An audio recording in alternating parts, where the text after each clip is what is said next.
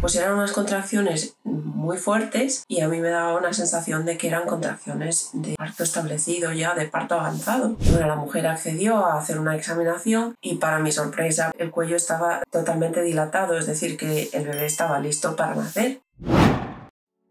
Hoy quiero contaros cómo llegó el himnoparto a mi vida. El himnoparto llegó a mi vida a través de mi profesión. Para aquellas que no me conocéis, soy Raquel, soy matrona y soy educadora con hipnoparto de parto positivo. Y bueno, pues hace muchos años, ya hace 17 años que terminé mi, mi, titulación de matrona, pues al poquito de haber salido de la escuela, estaba en el servicio de partos y una compañera veterana pues me dijo, vete a ver a esa mujer que piensa que está de parto. Entonces, bueno, yo al entrar en la habitación pues iba ya con una idea un poco preconcebida de que pues eh, seguramente venía con la fase de, de, pródromos cuando se está empezando con, con, síntomas de signos de parto. Y entonces pues bueno empecé mi valoración. Y bueno pues me encontré con una mujer que estaba pues muy tranquila muy calmada. No, no parecía que estuviese de parto. Pero cuando le pregunté pues las horas que llevaba de contracciones y cuando venía una contracción y palpaba esa contracción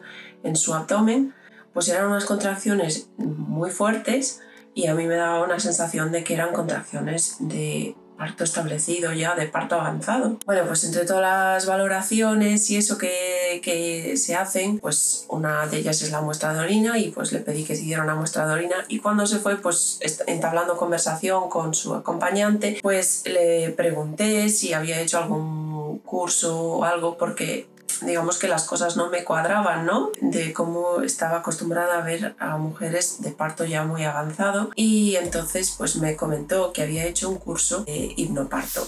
Entonces fue la primera vez que esa palabra llegó a mi vida y bueno, pues me quedó muy muy grabado porque fue muy chocante ver cómo pues la mayor parte de las mujeres en parto avanzado están como de otra manera y esta mujer parecía que estaba pues de, de que no estaba todavía de parto. Y bueno, pues al regresar y, eso, pues le comenté que, que, bueno, que en mi opinión me parecía que estaba de parto bastante avanzado, pero que no, que se estaba presentando como solía ser, digamos, el parto avanzado y que bueno, me gustaría confirmarlo con una examinación. Y bueno, la mujer accedió a hacer una examinación y para mi sorpresa pues estaba, el, el cuello estaba totalmente dilatado, es decir, que el bebé estaba listo para nacer y, y había ido pues al baño andando, etcétera. Siempre que venía una contracción estaba pues simplemente respirando súper calmada sin ningún tipo de síntoma, digamos, común. Entonces, bueno, eso me hizo, hizo llevarme a, a, tener más curiosidad sobre aquello que era hipnoparto, que hacía que las mujeres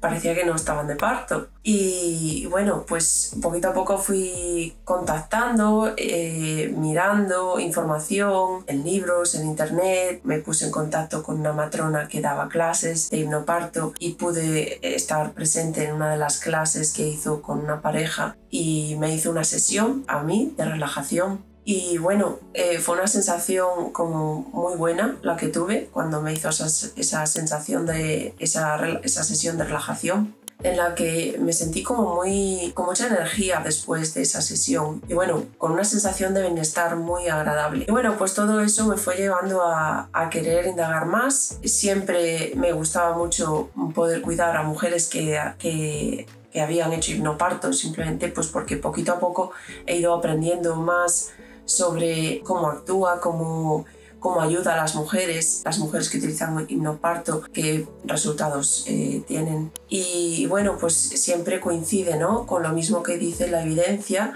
en la que el, el hipnoparto pues, eh, ayuda a partos más cortos, a partos más eh, fáciles, más llevaderos para esa mujer. Digamos que los niveles de satisfacción que suelen tener son mucho mayores, eh, con comentarios mucho más positivos. Incluso cuando hay situaciones que, como se sabe, no se puede controlar a veces, pues cómo evoluciona un parto. Y hay circunstancias que cambian en, en muchos partos, en situaciones pues que son un poco más estresantes, como eh, partos pues instrumentales o cesáreas, que obviamente han ocurrido pues digamos un poco de urgencia o o inesperado y hay pues un tiempo limitado para decidir en ese, en ese tipo de procedimiento, pues están como mucho más relajadas y tienen como una capacidad de la toma de decisiones pues como más abierta. Pero bueno, el parto no se quedó solamente en, en, mi carrera profesional, sino que cuando yo me quedé embarazada de mi primer bebé tenía muy, muy claro que era como quería llevar mi embarazo y mi parto. Y bueno, ahí fue cuando quizá pues aprendí un poquito más sobre el hipnoparto a nivel personal, digamos más poniéndolo yo en práctica. Y bueno, me sentí pues eso muy tranquila con pues los miedos que cualquier mujer puede tener a veces sobre el parto, con pues los miedos que eh, cargando en nuestras vidas, pues digamos en nuestra mochila, ¿no? Mi propio parto había sido un parto pues bastante difícil y, y traumático para mi madre y obviamente pues supongo que eso tiene un impacto en el bebé de pues cómo digamos seguimos nuestra, nuestra vida, ¿no? Y aparte de eso pues obviamente como matrona pues tenía sí una ventaja a nivel de pues a lo mejor mm, determinados conocimientos y cosas a lo mejor que me hacían sentir con más seguridad, pero otras pues eh, digamos que puede traer más miedos por saber cosas que a veces pues pueden digamos desviarse de la normalidad o de situación, ¿no? Entonces eso también pues eh, son digamos cosas que se van poniendo en nuestra mochila y, quería pues digamos eh, que esa mochila se hiciese muchísimo más ligera eh, en cuanto a miedos, preocupaciones al día del parto. Y bueno, eh, pues lo que es en sí, el, el, parto para mí fue bastante llevadero. Fue un parto que no, no evolucionó como yo quería mis preferencias, ¿no? un parto en el agua, fue un parto bastante distinto en ese aspecto. Y bueno, creo que, que, sí que el himnoparto me, me llegó a que pudiese afrontar esa situación con más calma cuando llegó el momento de tener que tener una cesárea.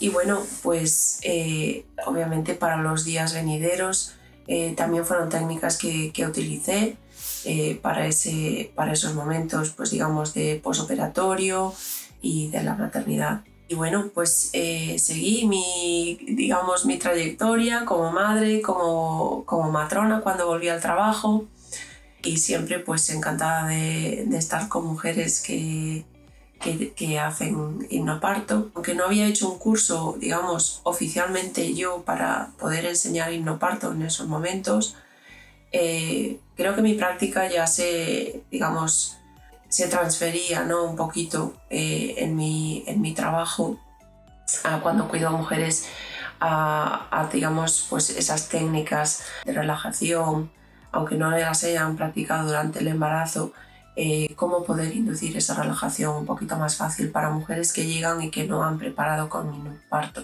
Volví a utilizarlo con eh, mi segundo embarazo y en este caso pues eh, fue simplemente preparación yo sola, no había hecho con nadie más, simplemente repaso de lo que había hecho anteriormente. Y en este caso pues había otros miedos, ¿no? porque obviamente pues mi primer parto no había acabado en, en, mi, en mi parto, digamos, que estaba dentro de mis preferencias. Había sido, pues eso, perfectamente un parto totalmente respetado, pero no, no era lo que yo había, digamos, preferido. Y pues eso, quieras que no, pues trae otros miedos añadidos, ¿no? En los que, digamos, ponemos en esa mochila esa preocupación de que ese parto pueda, digamos, volver a ocurrir de esa manera y acabar en esa situación. Entonces, en este, en este embarazo eh, utilicé eh, los audios eh, pues em, mucho para poder traer otras sensaciones de calma y esos miedos nuevos que había pues tratarlos. Y bueno fue una experiencia bastante distinta. Fue un parto mucho más rápido y bueno, fue el parto que yo quería eh, en el agua y una recuperación pues eh, muy distinta a, mi primer, a mi primer posparto.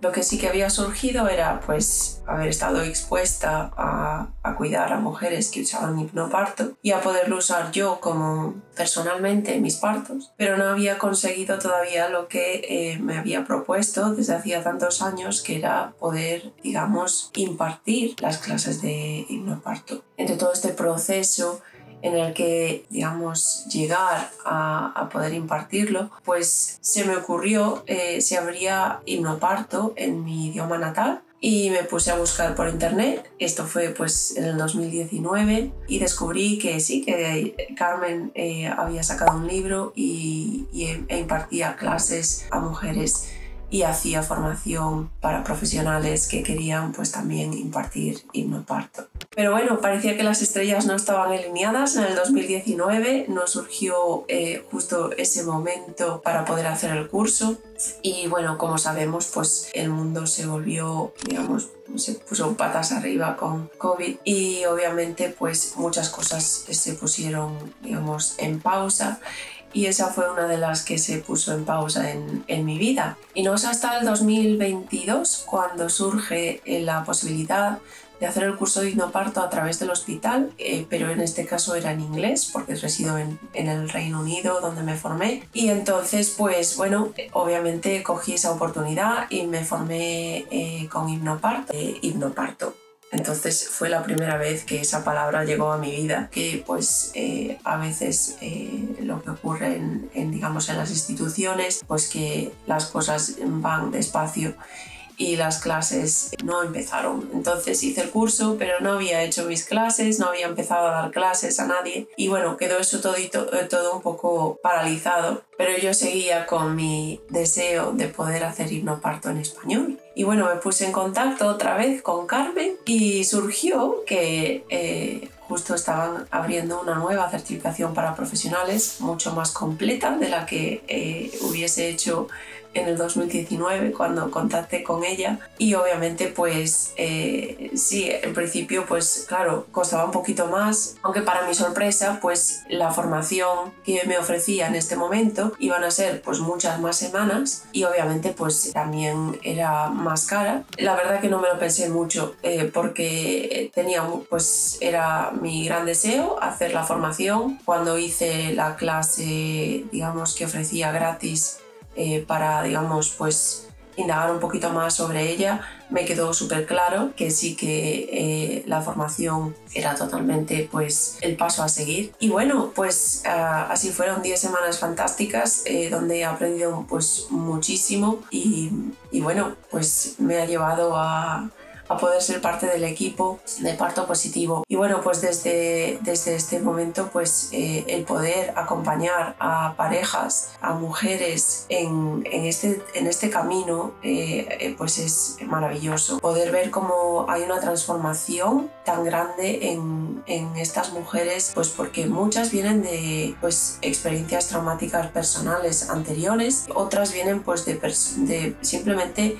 eh, cosas que les han contado, pues familiares, amigas, etcétera, y que ese tipo de miedos pues eh, son los miedos que llevan de por sí. Y bueno, pues lo que hay a nivel general, ¿no? Esa imagen tan, digamos, aceptable eh, del parto, pues mujeres gritando en las que pues alguien tiene que venir a salvarlas. Entonces socialmente estamos muy condicionadas a ese tipo de, de imagen ¿no? sobre el parto y es lo que pues en realidad la mayor parte de las mujeres es lo que espera y con lo que cuenta para su día ¿no? entonces pues poder acompañar a, mujeres en este trayecto es todo un honor pues un súper enriquecedor